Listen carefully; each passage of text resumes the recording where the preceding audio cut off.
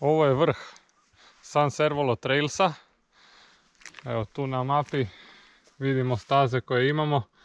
Danas ću vam pokazat ovu prvu stazu koja se zove Fuškulinka. Plava staza, dosta brza, ima par dropova. Ajmo vidjeti. Idemo malo zaleta. Odmah kreće. Lagani skokić. Tu ima i lijeva varijanta.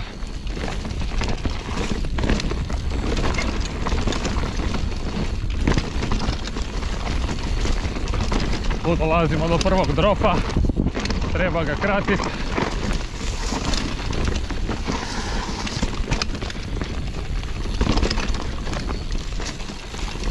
Uski jes. Skokić.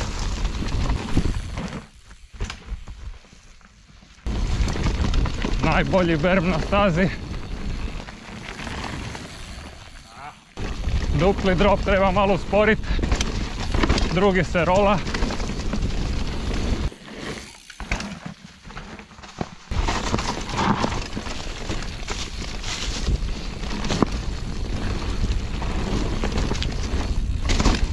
I na kraju skok. I idemo prema vrhu.